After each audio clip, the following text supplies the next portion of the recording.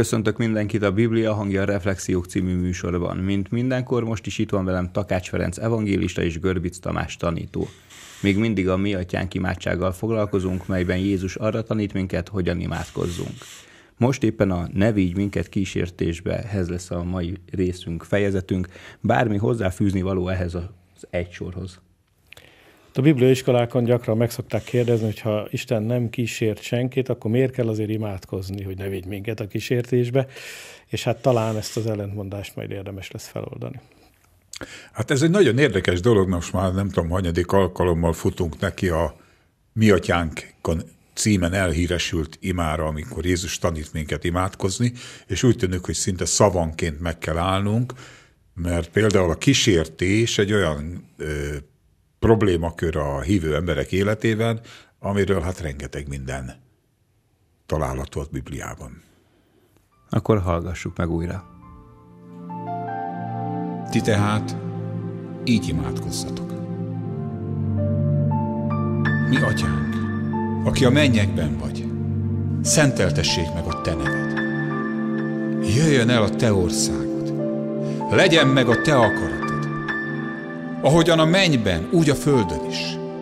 Ami mindennapi kenyerünket, add meg nekünk ma, és bocsáss meg a vétkeinket.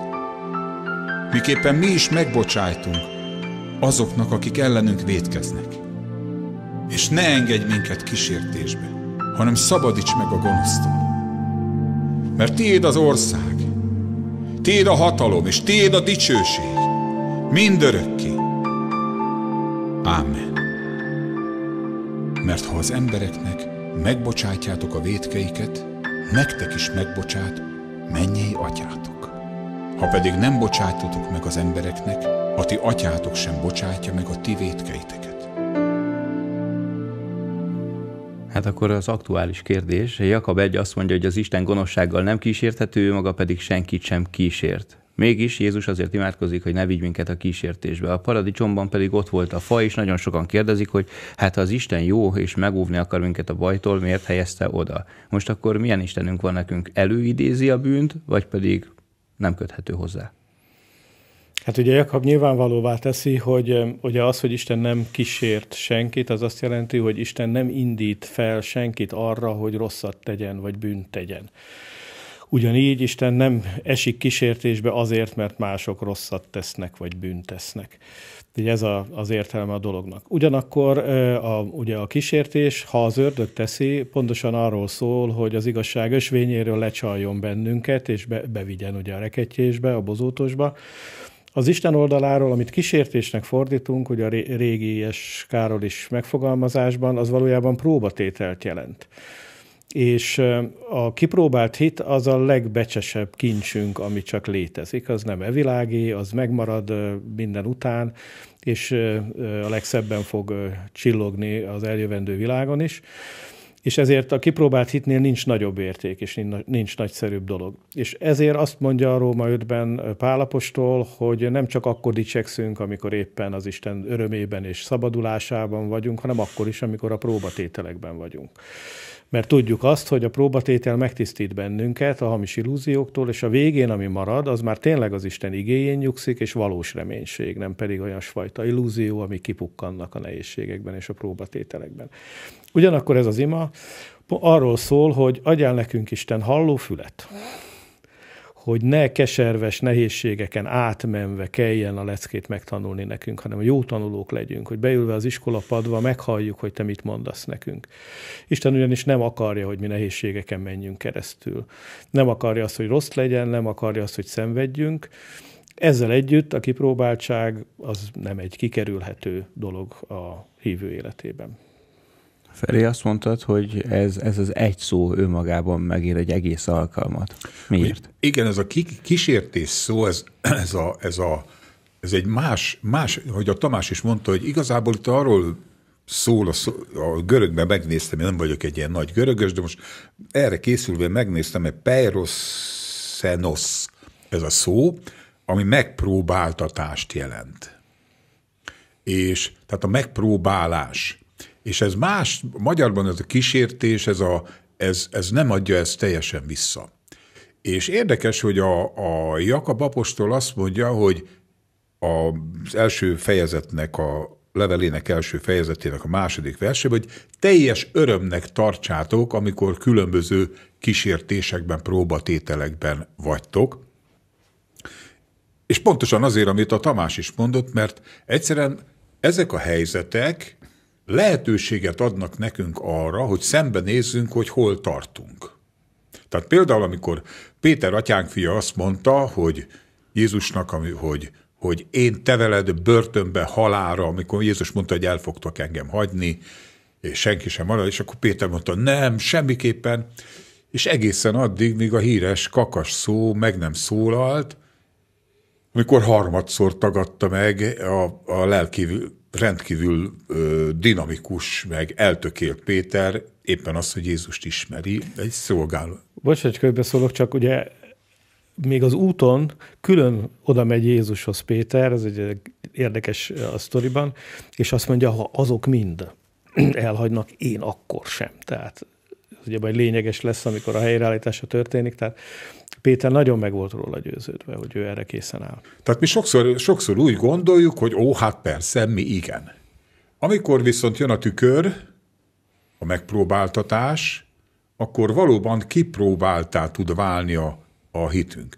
Ugye Péter is, amikor Jézus ránéz a kakasszó után, hát sírba fakad, zokogás tör fel belőle, mert szembesül azzal, hogy hogy valójában ő kicsoda, és valójában hol tart.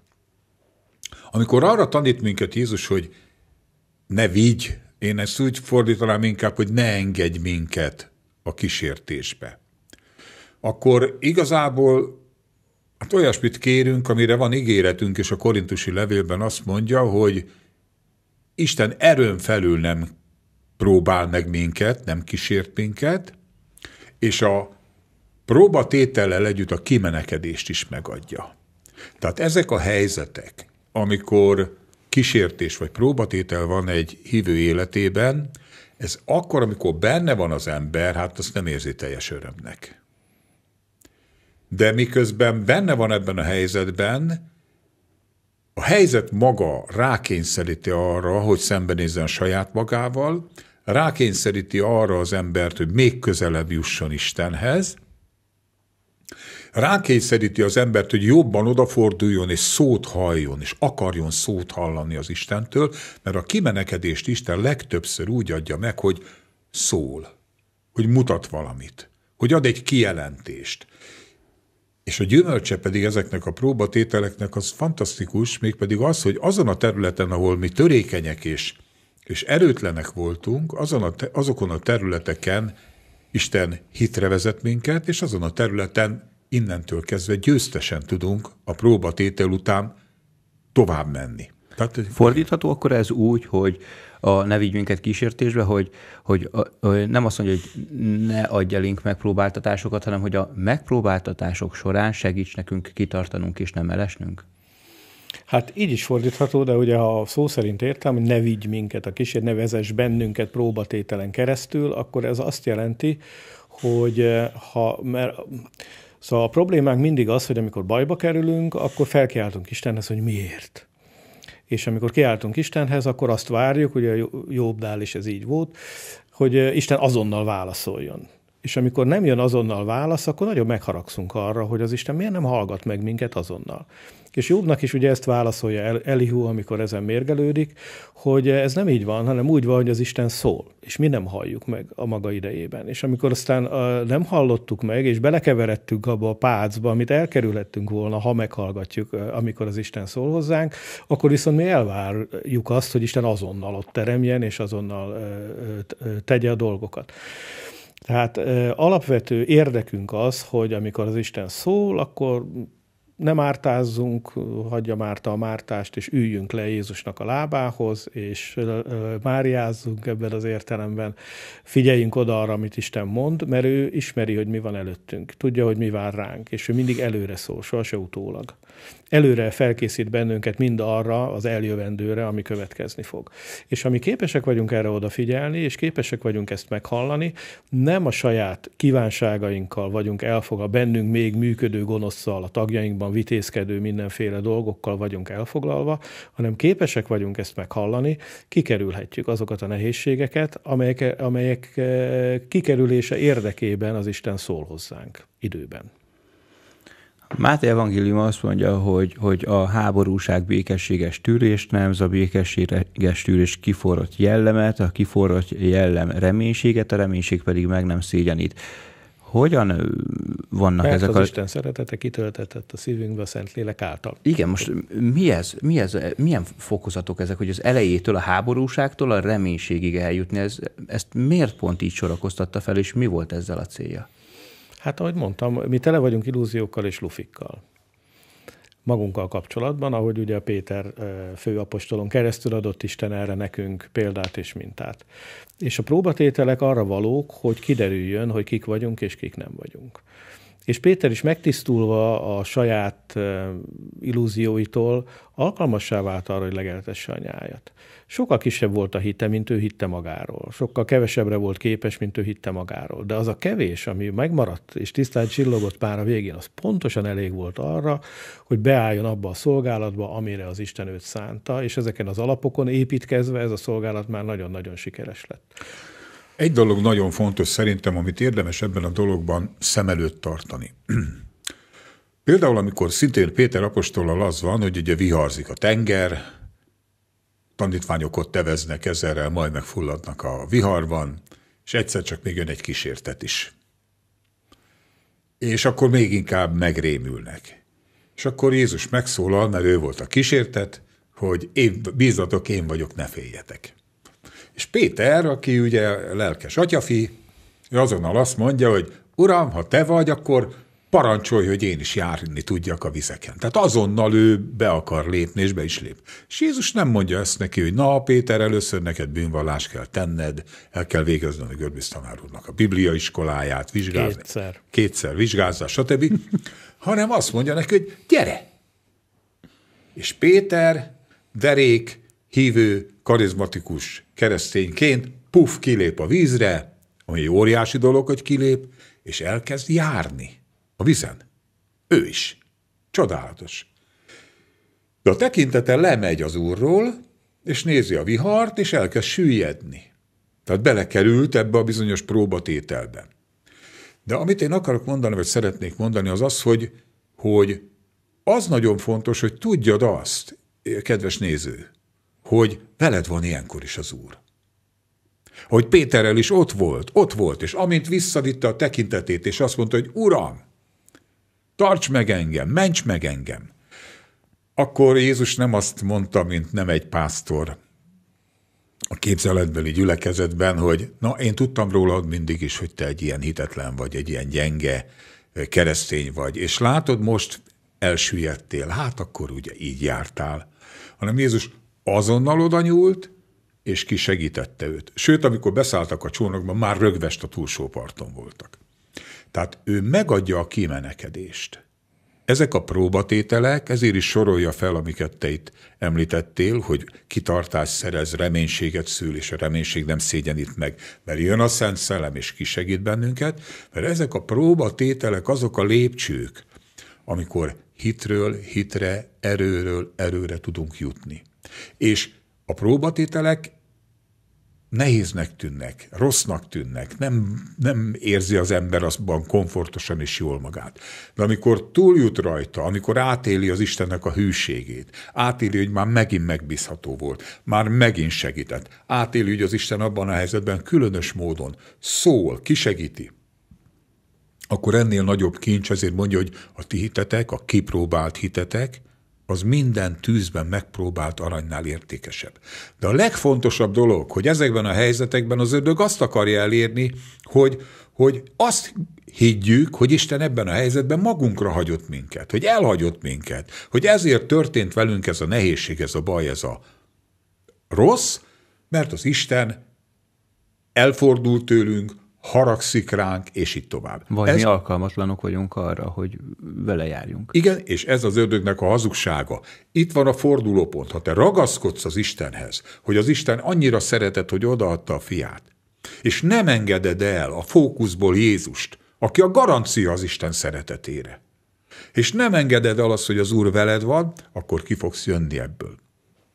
Még egy dolgot szeretnék ezzel kapcsolatosan, a, a klasszikus prototípus mindig Jézus, aki ugye miután újjászületett, rászállt galambképében a Szent Szellem, a Szent Szellem kivitte őt a sivatagba, a pusztában, volt, 40 napig bőjtölt, és imádkozott, és Isten jelenlétébe volt, és akkor jött a kísértő.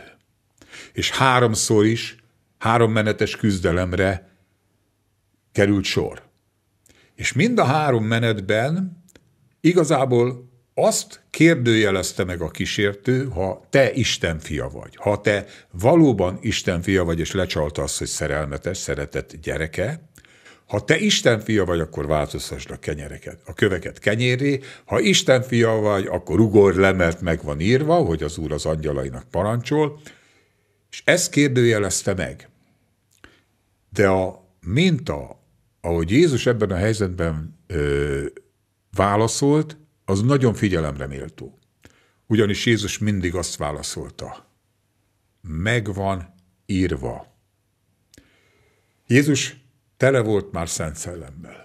A Szent Szellem pedig abban a helyzetben, és te neked is, meg fogja adni azt az igét, ami a te helyzetedben, ott abban a helyzetben az Istennek a, a kilőtt nyilvesszője, az Istennek a fegyvere az ellenség ellen, azt az aktuális igét, amely kimegy és megcselekszi, amire Isten kiküldte. És amikor Jézus kimondta, hogy megvan írva, hogy nem csak kenyérrel él az ember, hanem minden beszéddel, ami az Isten szájából származik, megvan írva, hogy ne kísérd az Urat a te Istenedet, és nem ugrott le, megvan írva, hogy az Urat a te Istenedet imád, és csak ő neki szolgálj, akkor azt olvassuk, hogy az ellenség eltávozott, a kísértő eltávozott tőle egy időre. Sőt, ennél még én jobbat is mondok. Na. Nevezetesen azt, hogy előre megadja Isten azt az igét, amivel majd oda tudsz vágni neki. És talán magad sem érted, hogy miért forog az elmédben, a szívedben, miért ezzel ébredsz, miért ezzel fekszel, miért ugrik ki ez neked az előző vasárnapi igehirdetésből, stb. De ott él benned ez az ige, és ez azért él ott benned, mert, mert amikor jön a próbatétel, akkor ez az ige lesz a számodra a megtartó hatalom és a megtartó erő. És talán Péter dolgához még annyit kilépvén a tanítói szerepből, és egy picit a pásztori szerepbe átugorva, hiszen látjuk nap mint nap, hogy a hívők küzdenek eh, ezekkel a dolgokkal, hogy nagyon fontos, hogy ha az ember egy, kis, egy kísértésben úgy érzi, hogy nem tudott helytállni, ahogy Péter is szembesült vele, hogy nem tudott helytállni.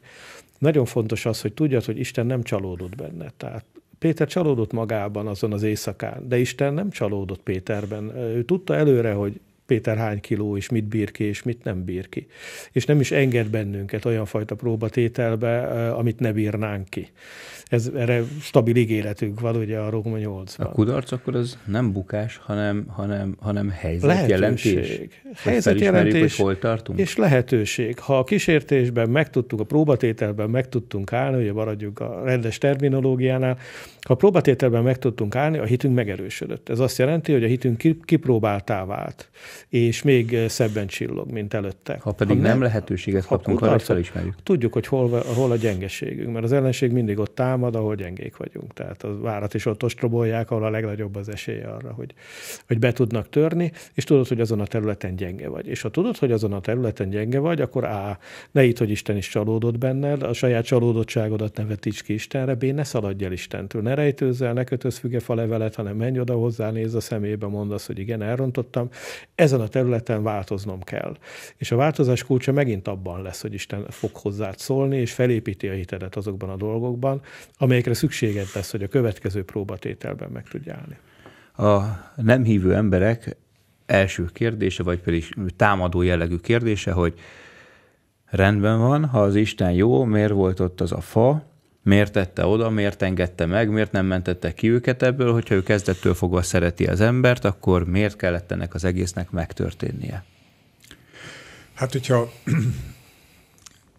nekem van egy gyerekem, és őt nem engedem ki a akváriumból, vagy micsodából, terráriumból, a üvegház hatás alatt tartom, egy ilyen búrában tartom, hát semmi nem fog történni. Akkor se fog történni semmit, nem fog fejlődni a gyerek. Akkor se lesz igazából értékes a mosolya a gyereknek, hogyha ráparancsolok a gyerekemre, hogy szeress engem, és mosolyogva nézzél rám. Így nézni, és ez nem biztos, hogy a villamos alatt fekvő ember mosolya az őszinte. Tehát a szabad akarat az embernek egy óriási méltósága. És Isten minket nem úgy akar magának megnyerni, nem úgy akar, az Isten azért teremtette az embert, minket embereket, hogy, hogy szabad, intelligens, a saját hitéből, döntéséből legyünk vele egy, egy partneri, egy közösségben, egy kapcsolatban. De ez nem működik úgy, hogyha nincs nekünk egy szabad döntésünk. És a szabad döntésben bizony benne van az, hogy elszúrjuk. És ezért van ez a, én úgy gondolom, hogy a szabadság borzasztóan fontos. Ha helyettem a gyülekezet vezetői eldöntik, hogy én nekem mit kell döntenem, mert különben jaj nekem, akkor én nem tudok dönteni.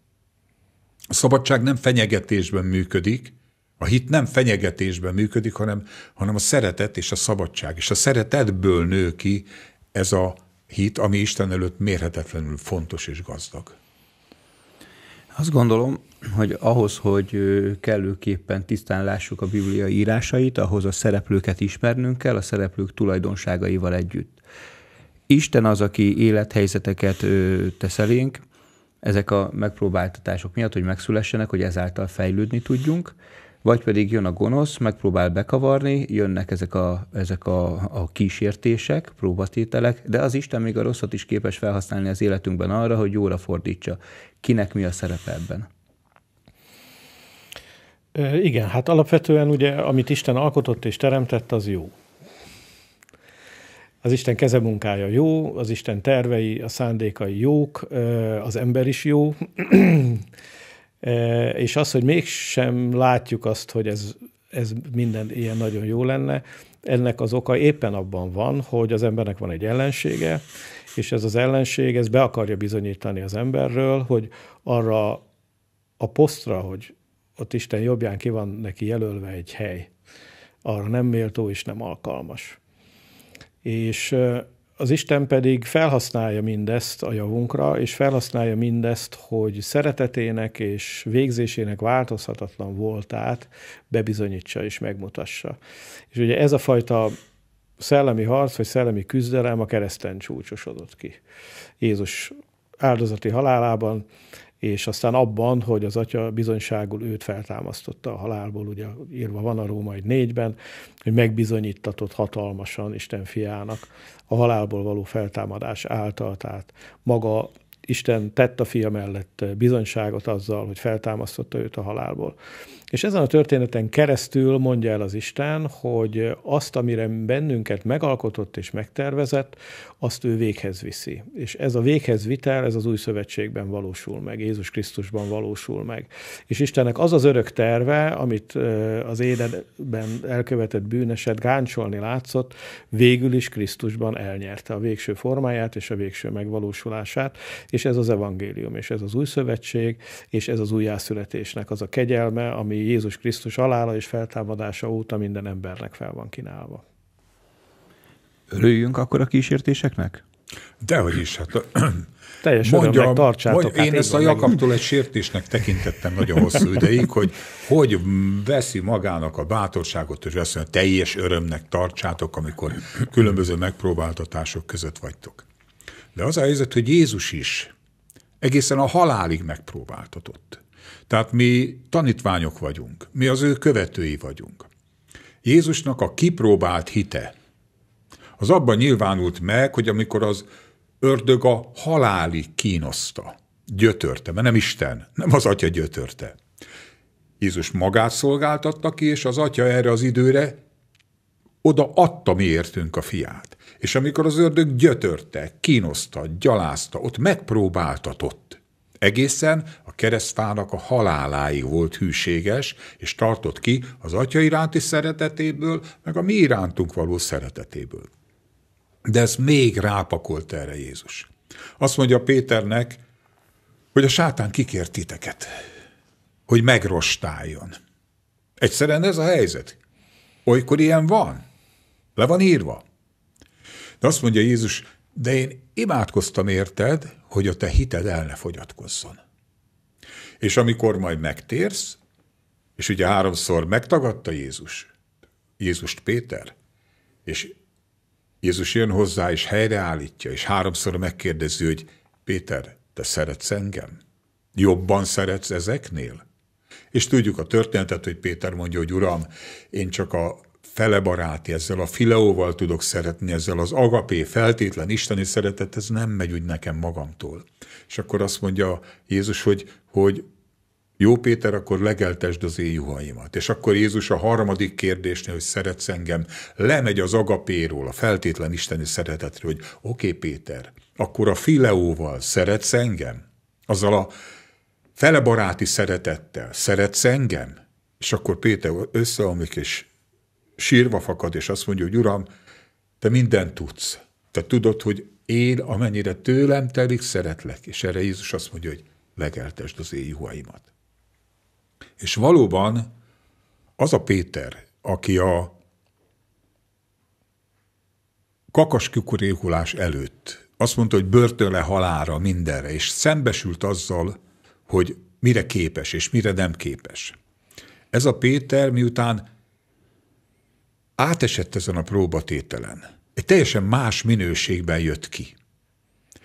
És rájött arra, és Isten felruházta azzal a hatalommal, hogy ő legeltesse az ő juhait. Ez a Péter, ez több lett. Több lett, mint előtte volt. Nem csak abban a tekintetben, hogy, egy, hogy saját magát jobban megismerte, hanem egy, egy szorosabb kapcsolatba került az Úrral. Még inkább elköteleződött Jézus Krisztus irányába. És úgy gondolom, hogy emiatt nagyon fontos az, hogy Jézus imádkozik. Te érted, és én értem, és mi értünk hogy a hitünk ne fogjon el, hogy maradjunk benne ebben a bizonyosságban, hogy Isten egy szerető édesapa. Maradjunk benne a bizonyosságban, hogy Jézus ma is közbe jár, mint főpap, te érted és én értem, és hogy ezek a próbatételek a javunkat szolgálják, hogy ezekből mi megerősödve a tűzben megpróbált aranyhitünkkel jövünk ki, ami mindenére értékesebb Isten előtt. Minőségváltozást említettél. Lehet valakinek annyira minőségi már az élete, hogy nincsen szüksége ilyen módon már ezekre a próbatételekre, vagy amíg élünk, folyamatosan fejlődnünk kell, ergo a, a, a, ezek a megpróbáltatások mindig az életünk részei lesznek. Hát amíg élünk, folyamatosan fejlődnünk kell, sőt, még utána is. Tehát tulajdonképpen, a, amit most itt elkezdtünk, hogy gyarapodunk az Isten ismeretben, aminek hát ez az ima tulajdonképpen ez, hogy hallgass apádra, mert jót akar neked. Ezt imádkozzuk, ezt kérjük. Ez, ennek az az eredménye, hogy az apa tanít bennünket, és az atya azért tanít bennünket, mert mindenét át akarja adni nekünk. Minden bölcsességét, tudását, ismeretét, mindazt, amit elkészített, oda akarja nekünk adni, és hogyha mi hallgatunk rá, akkor folyamatosan tudunk növekedni. És amikor levetjük ezt a földi testet, ami ugye ebben korlátoz, még testben vagyunk, Istentől távol vagyunk, és színről színre látunk, sőt, majd kapunk egy új testet, ami az eljövendő világhoz kompatibilis, akkor is folytatódni fog ez a megismerés. Isten a menye Jeruzsálemben is folyamatosan kijelentéseket fog adni, folyamatosan tanít, vezet bennünket majd, és ott is növekedni fogunk az Isten megismerésében, és az örökké valóságot is ezzel fogjuk tölteni ne vigy minket kísértésbe, és úgy folytatódik, hogy de szabadíts meg minket a gonosztól. Köszönöm nektek, hogy itt voltatok ma is. Jövő velem. héten akkor a gonosz. És jövő héten megismerjük akkor a gonoszt. Köszönjük szépen mindenkinek, aki a munkánkat segíti, mindenkinek, aki, aki a Biblia hangját a YouTube verzióban is láthatóvá, hallhatóvá tette. Innen folytatjuk.